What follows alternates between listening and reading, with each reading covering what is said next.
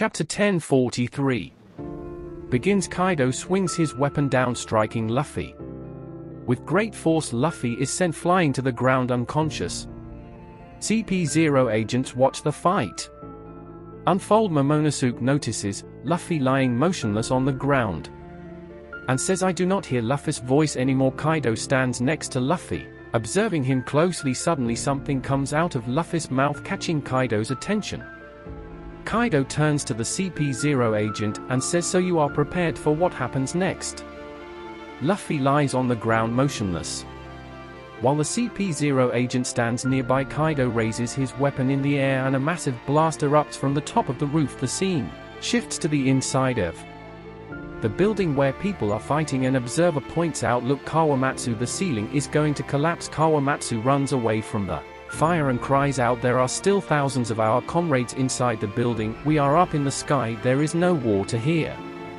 Another person responds there is nothing we can do to stop this conflagration. I beg you leap out of there. There is no glory in being burned to death. The fire engulfs the building shocking everyone present. Suddenly Kaido appears in the main hall where everyone is gathered. Kaido exclaims where is your leader? I must have Momonosuke surrender. Straw Hat Luffy is dead, if anyone else wishes to challenge me step forward.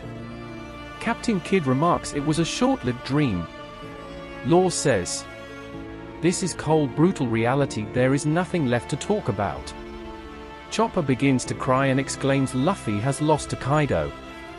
The Animal Kingdom pirates laugh and shout yeah he did it. Master Kaido is utterly victorious. The samurai shout back. That is a lie. The man in the straw hat is not dead. Law turns to Captain Kid and says, Straw Hat's voice has vanished. Nami says there is no way Luffy lost. Of course Dot is not dead. That's ridiculous Kaido responds and says, well at least one of you has some moxie. Pirates down below shout back you are a liar.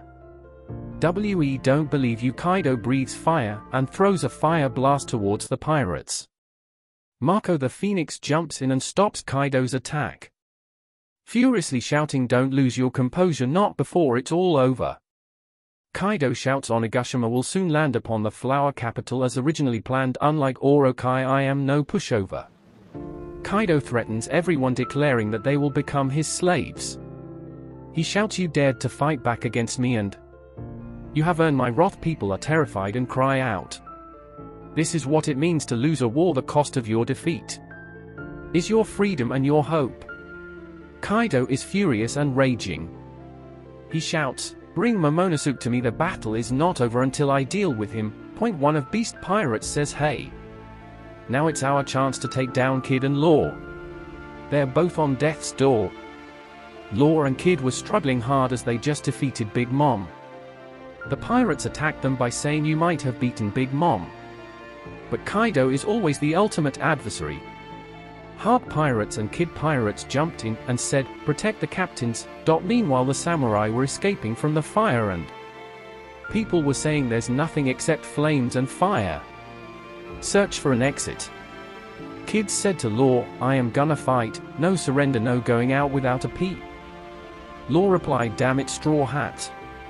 In another scene Momonosuke said to Yamato that, he cannot fight Kaido, as Luffy lost so how can he win? But Yamato says you have to fight even if it means death. And she said, that Kaido is already beaten up, Momonosuke disagreed. And said that, only more people will die. Luffy has already lost and they can now only surrender. Yamato stated that she is not going to let Momonosuke do that. Because surrender is not an option.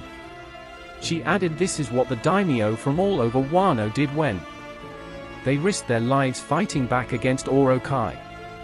The last 20 years of Wano is riding upon this battle. If you're going to let it go to waste, then let's face death together. Momonosuke was stunned. And the samurais continued fighting. While Yamato was damn serious. At the same time Kaido was raging and continuously throwing fire blasts. The scene then shifts to the rooftop of Onigashima, where Luffy was unconscious. Laid on the ground. Dot Then suddenly from the riverside, Zunisha the giant elephant appears. and says, Momonosuke Can hear it, how long has it been Momonosuke asked. What is it Zunisha? Then Zunisha replied, I hear the drums of liberation for the first time in 800 years. He is here. Zunisha was seen with red eyes. And said, Joy Boy has returned. Luffy was shown smiling. While he was on the ground. And the chapter ends before going don't forget to subscribe.